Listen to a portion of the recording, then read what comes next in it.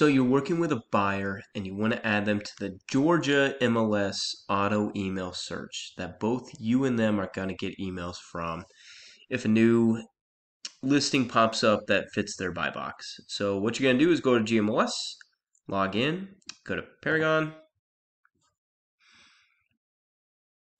and you're actually going to do this opposite of what FMLS does. So FMLS, you're going to search first and then add the contacts.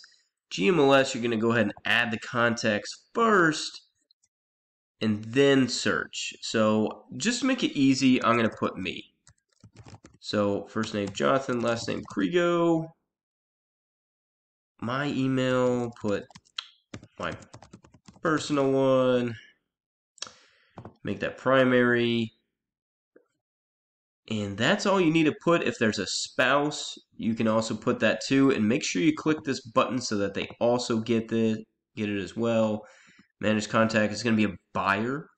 You can also put your appraiser, family, insurance, seller, anything like that on there. So once you're done with that, that's all you really need, just the name and email of the person. You're going to go ahead and save it, and that is right here. Uh, do you want to associate a property? So that's their personal property that you can put there for like CRM uses. I'm not going to do that. You're going to click not now. You're going to go right here to buyer activity and then add search. Add new saved search. Uh, I'm going to be looking for a house.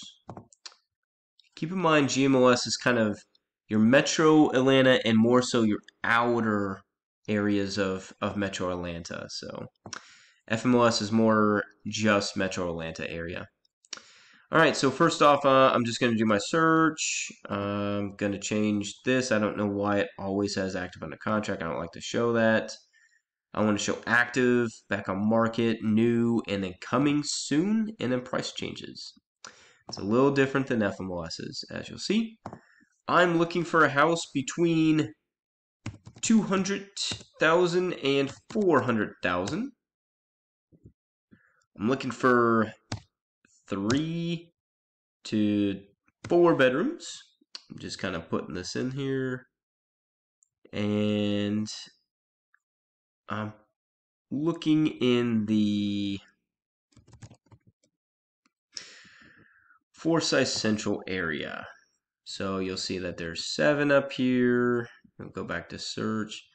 Um, keep in mind you can also look on map search if you just want to draw where you're looking at, but I just put coming for Forsyth Central, so it's just going to show up for there. You're going to run search. So it should show up with seven different ones, and then you're going to save search. And then this is the name that's going to pop up every time that they you guys get a new email. And so you'll just make this um, uh, new listing found email. I don't know. Call it whatever. But once you click the save button, it's going to start. And so you need to get with your client, call them or text them or something, and just let them know, hey, I have you set up on our Paragon Georgia MLS auto email search. They need to go in there and they need to accept the email from Paragon. And then once they accept it, you guys are going to be on the auto listings. And it's going to send them right away. So if there's 10 different listings that come available that day for your uh, buyer box, you're going to get 10 emails. And so just keep that in mind and let them know.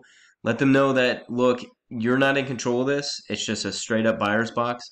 Some of these might be rough. We need to vet them once we get the emails. But it's just a, another tool that you can use to kind of put them on and, and get emails throughout the day for new listings. I appreciate you watching. If you have any questions, just let me know.